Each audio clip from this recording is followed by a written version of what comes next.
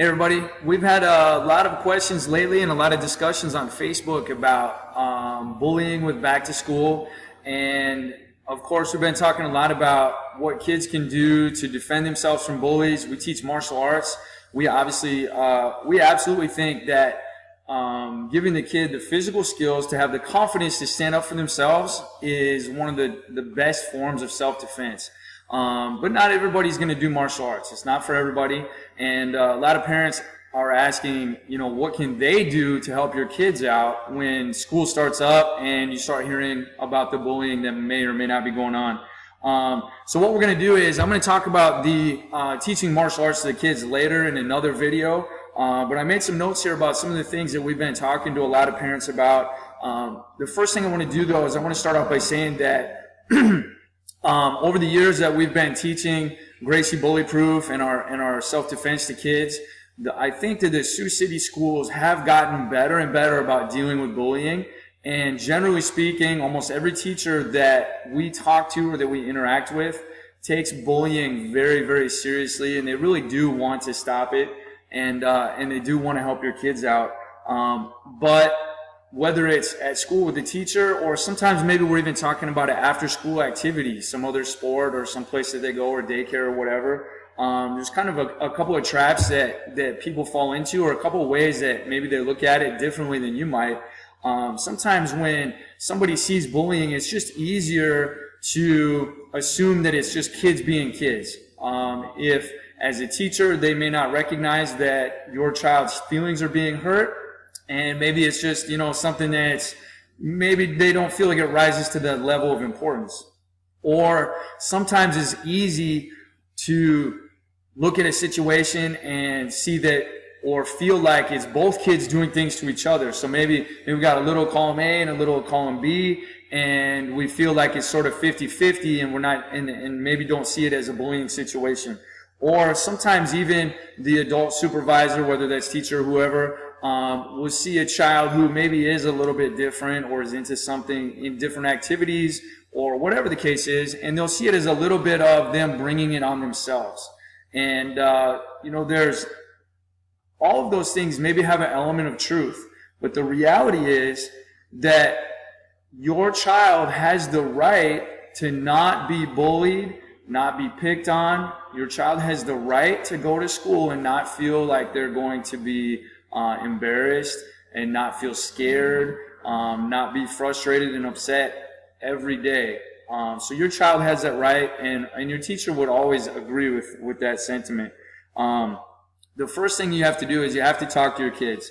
Um, many, many episodes of bullying uh, go unreported. And I mean unreported to the parents. The kids just suck it up. They feel bad. They maybe even act out. Things are, you know, their grades are getting worse and we don't know why and they don't say anything to the parents. Um, it's a little bit of the tattletale thing that they learned when they were maybe in elementary school. And so parents, it's it, primary importance to explain to your kids that you want to hear about it. You want to help them fix it. It's not right. And, uh, they need to feel comfortable coming to you and telling you, um, about whatever bullying situation they're having. Um, the next thing that we're going to recommend is is parents talk directly to the teacher. Uh, don't do it through your kids. Don't have your kids send messages to the teacher or whatever. Just talk directly to the teacher. Most teachers are very, very open to talking to parents. Um, be really, really clear about what you think is going on. Talk to the teacher and find out, you know, what their opinion is about what's going on. Um, but be very clear that that uh, something not right is happening. Um, make sure that when you talk to the teacher about it, ask them very clearly what action steps they're going to take. What are the steps that are going to happen? You know, is the, te- is the teacher going to talk to the other kid, pull them aside? Are they going to call the other kid's parents? Are they going to bring your kid and the other kid um, into the room together to talk, which if that's the case, that will be something that maybe you want to be present or maybe you want to prepare your child to be ready for that. Um, and then schedule a follow up with the teacher. You know, if this is going to happen on a Wednesday, hey, can I give you a call on Friday and just see how it went? Let's talk about it. And uh, that just makes sure that um, what what the teacher stated is is really um, what happened. It's very easy.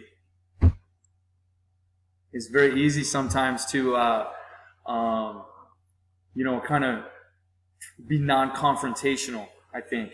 Um, if you feel like the teacher is not taking it seriously, don't hesitate to go to the next step up. Talk to the principal, talk to um, whoever's above them at the school, um, whoever it is. It's your job to protect your kid. Um, it's their job to protect your kid, and if you feel like they're not doing that, then then you do what it takes.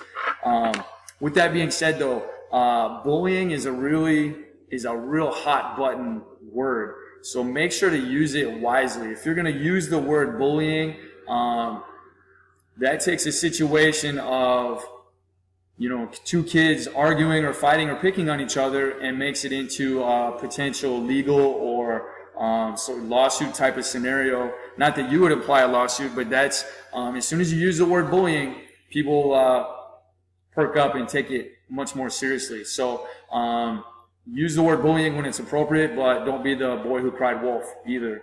Um, so just be careful to use that word appropriately.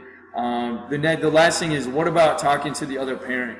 And uh, we always recommend that we talk to the teachers first and see if the teacher can resolve it. It's easier to have a third party take care of it.